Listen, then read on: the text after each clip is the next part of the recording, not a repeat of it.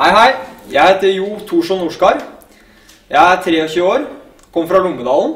Jeg har eh, vunnet eh, EM-sølv i 23-klassen i maratonsykling og NM-bransje i maraton. I år vil jeg vinne Birken. Hei, jeg heter Anders Hovnes. Jeg er 22 år og kommer fra Oslo. Jeg har EM-bronse fra junior og har vunnet Birken og to kongepokaler. I år vil jeg bli topp 20 i verdenscupen og vinne Birken. Hei, Flemming Kristiansen. 34 år, Spydeberg. Sykla inn som 30.-plass på eliten i Birken i fjor. Håper å forbedre meg og overraske mange andre enn meg sjøl. Hei, jeg heter Andreas Gradal, er 19 år og kommer fra Bekkestua i Bærum.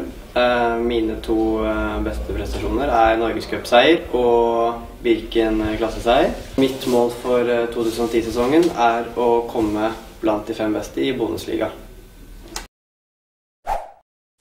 Hei, jeg heter Ole kommer fra Gjerdrum. 17 år, eh, ny på laget i år. Eh, Mine to beste resultater er eh, juniorseieren fra NM i fjor, og eh, vant også mange norgescupseiere i fjor. Eh, I år skal jeg komme til eh, junior-VM i Canada, og jeg skal også vinne junior-NM.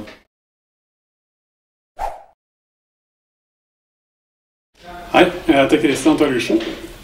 Jeg kommer fra Krøderen og Nordfjell og er 30 år gammel. Mine beste resultater er eh, at jeg har vunnet Norgescupen to år på rad. I fjor tok jeg sølv i NM i maraton. I sommer satser jeg på å vinne Norgescupen for tredje gang og bli norgesmester.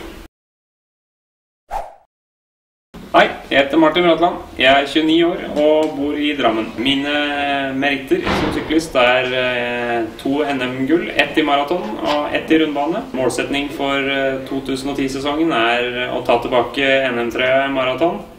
Og det skal bli spennende å se om vi klarer etter en eh, sesong ute med kyssesyke. Hei, jeg heter Arild Kristoffersen, er eh, 40 år. Mine meritter er eh, etappeseiere på Kraft seksdagers eh, som gikk i fjor, og så sammenlagtseier i Nissan Cup. I år så har jeg håp om å kunne klare å, noen, noen pallplasseringer i maratoncupen.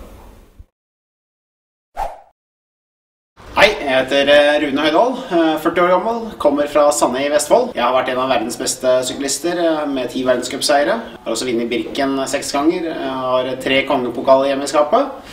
Jeg er sportssjef på eh, United Bakeries. For meg eh, så er det å sykle og ha det gøy og prøve å få litt fart på gutta mine. Hei. Vi er